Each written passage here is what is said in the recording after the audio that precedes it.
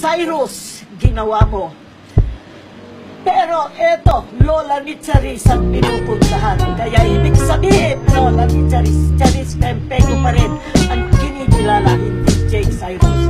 Kung gusto mo umangat, Charis, pumunta ka rito.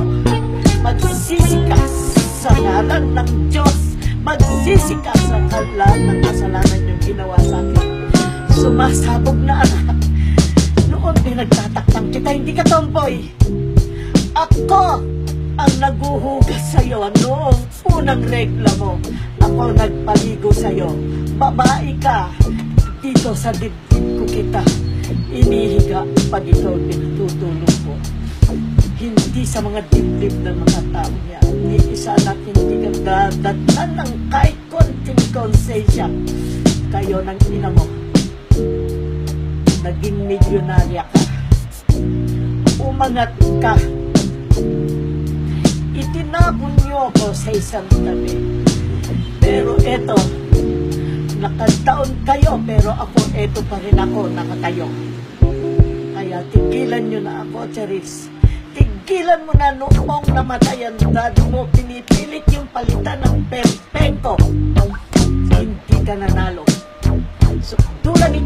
Ko, hindi ka mananalo dahil ang may nagsabi sa akin, sa NSO mo pa raw pinagawa ang pangalan mo. Mahanap ko ang NSO na yan.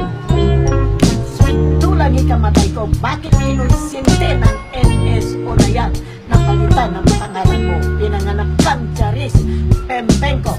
Mamamatay kang Charis Pempenko. Pag inilagay sa atakol yan, hindi Jake Saino sa nilalagay. Charis Pempenko. Binababoy mo ang pagkatao ko.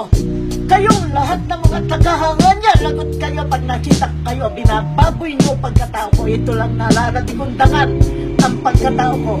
Nag-iisa akong lumalaban sa katwiran, sa kalinisan, sa aking pagkatao. Kaya, Charis! Charis, ang dami ko nang tiniis pinagtakpan sa'yo, anak. Nakakahiya sa tao.